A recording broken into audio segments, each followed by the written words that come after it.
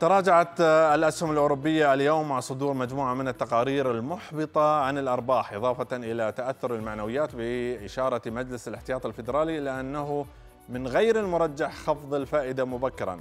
وشهدت البنوك أكبر هبوطا إذ بلغ 1.14% بقيادة تراجع سهم بنك بي إم بي باربيا الفرنسي بمعدل 7.17% عند بدء التداول نتيجة عدم تحقيق الأرباح الفصلية المتوقعة.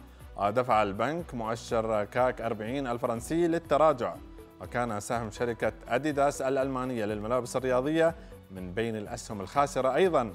وهبط 7.17% جاءت توقعات الشركة لعام 2024 دون التقديرات.